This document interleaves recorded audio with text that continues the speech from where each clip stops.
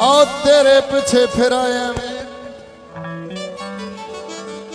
ਮੈਨੂੰ ਪੈਸਿਆਂ ਦੀ ਭੁੱਖ ਨਹੀਂ ਆ, ਡਾਰਲਿੰਗ। ਕਰਦੇ ਵੈਸੇ ਠੀਕ ਹੋ ਜਾ, ਨਹੀਂ ਤੇ ਆਪਰੇਟ ਕਰਾਉਣਾ ਪੈਣਾ, ਮੈਂ 10 ਦਿਨ ਕਿੰਨੀ ਤੰਗੀ ਚ ਸਤਿ ਸ਼੍ਰੀ ਅਕਾਲ ਜੀ ਵੈਲਕਮ ਕਰਦੇ ਹਾਂ ਤੁਹਾਡਾ ਇਸ ਵੀਡੀਓ ਦੇ ਵਿੱਚ। ਬਾਗੀ ਦਾ ਲਾਈਵ ਸ਼ੋਅ ਸੀ ਫਿਰੋਜ਼ਪੁਰ ਦੇ ਵਿੱਚ। ਉੱਥੇ ਇੱਕ ਅਜਿਹਾ ਹਾਦਸਾ ਹੋ ਗਿਆ ਜਿੱਥੇ ਬਾਗੀ ਨੂੰ ਗਰਮ ਹੋਣਾ ਪਿਆ। ਇੱਕ ਬੰਦੇ ਨੇ ਬਾਗੀ ਦੇ ਮੂੰਹ ਤੇ ਪੈਸਿਆਂ ਦਾ ਰੁੱਗ ਭਰ ਕੇ ਮਾਰਿਆ, ਉਹ ਵੀ ਬਦਸਲੂਕੀ ਦੇ ਨਾਲ।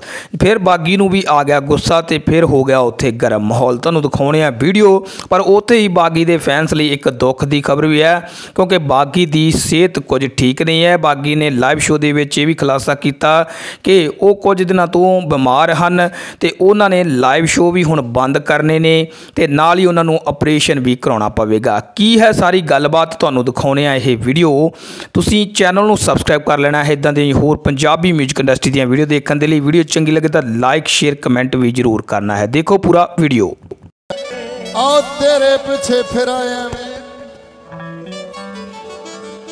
ਮੈਨੂੰ ਪੈਸਿਆਂ ਦੀ ਭੁੱਖ ਨਹੀਂ ਆ, ਡਾਰਲਿੰਗ। ਆ ਫੁੱਦੂ ਕੰਮ ਨਾ ਕਰ ਮੇਰਾ ਭਰਾ। ਮੈਂ ਆ ਭਰਾਵਾਂ ਦੇ ਪਿਆਰ ਕਰਕੇ ਗਾਉਣ ਆਇਆ। ਆ ਗਲਤ ਗੱਲ ਆ ਮੇਰਾ ਵੀਰ ਬਣ ਕੇ।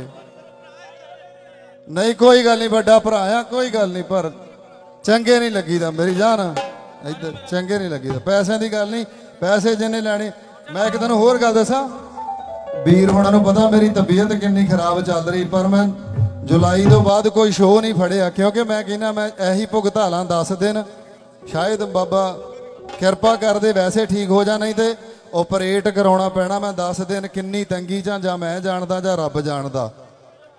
ਕਿਉਂ? ਕਿਉਂਕਿ ਮੈਂ ਕਿਸੇ ਹੋਰ ਕਲਾਕਾਰ ਨੂੰ ਵੀ ਇੱਥੇ ਭੇਜ ਸਕਦਾ ਸੀ, ਕਿਸੇ ਭਰਾ ਦਾ ਤਰਲਾ ਮਾਰ ਲੈਂਦਾ।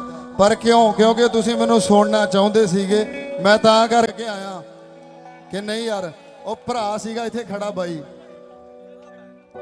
ਇਹ ਵੀਰ ਨੇ ਮੈਨੂੰ ਘਰੇ ਬੁਲਾਇਆ, ਕਹਿੰਦਾ ਘਰੇ ਆ। ਮੈਂ ਕਿਹਾ ਮੇਰੇ ਕੋਲ ਘੜੀ ਮੜੀ ਉੱਠਿਆ, ਬੈਠਿਆ ਨਹੀਂ ਜਾਂਦਾ ਯਾਰ, ਮੈਂ ਪ੍ਰੋਬਲਮ ਚ ਆ, ਮੇਰਾ ਭਰਾ ਬਣ ਕੇ। ਪਰ ਮੈਂ ਗੇਟ ਦੇ ਵਿੱਚੋਂ ਜਦੋਂ ਮੋੜਨ ਲੱਗਾ, ਫਿਰ ਇਹਨੂੰ ਮੈਂ ਕਿਹਾ ਮੈਂ ਕਿਹਾ ਭਾਵੇਂ 2 ਮਿੰਟ ਹੀ ਤੇਰੇ ਘਰੇ ਆਵਾਂ, ਜ਼ਰੂਰ ਆ ਕੇ ਜਾਊਂਗਾ ਯਾਰ। ਤੂੰ ਮਾਣ ਨਾ ਸੱਦਿਆ। ਹੈ ਨਾ? ਤੁਸੀਂ ਸਾਰੇ ਭਰਾ ਹੋ। ਉਹ ਵੀ ਮੇਰੇ ਲਈ ਬੜਾ ਸਤਿਕਾਰਯੋਗ ਆ, ਮੇਰਾ ਭਰਾ ਆ, ਵੱਡਾ ਭਰਾ ਆ। ਸੋ ਕਈ ਵਾਰੀ ਵਾਧਾ ਘਾਟਾ ਹੋ ਜਾਂਦਾ। ਜੇ ਮੇਰੇ ਵੱਲੋਂ ਮੇਰਾ ਕੋਈ ਸ਼ਬਦ ਤੁਹਾਡਾ ਦਿਲ ਦੁਖਾਵੇ ਤਾਂ ਮੈਂ, ਤੁਸੀਂ ਮੇਰੇ ਲਈ ਰੱਬ ਸਮਾਨ ਹੋ, ਮੈਂ ਮਾਫੀ ਮੰਗਦਾ। ਪਰ ਕਈ ਵਾਰੀ ਆਰਟਿਸਟ ਨੂੰ ਵੀ ਗੁੱਸਾ ਆ ਜਾਂਦਾ ਯਾਰ, ਕੁਛ ਕੁ ਚੀਜ਼ਾਂ ਕਰਕੇ ਸੱਚੀ ਇੱਕ ਦਿਨ ਕਿਸੇ ਨੇ ਨੱਚਦੇ ਨੱਚਦੇ ਨੇ ਇਦਾਂ ਕਰਕੇ ਮਾਰੀ, ਮੇਰੀ ਠੋਡੀ ਤੇ ਵੱਜੀ ਬਹੁਤ ਜ਼ੋਰ ਦੀ, ਫਿਰ ਮੈਂ ਚੁੱਪ ਕਰਕੇ ਮੈਂ ਯਾਰ ਹੁਣ ਤੈਨੂੰ ਕੀ ਕਹਾਂ ਚਲੋ ਖੈਰ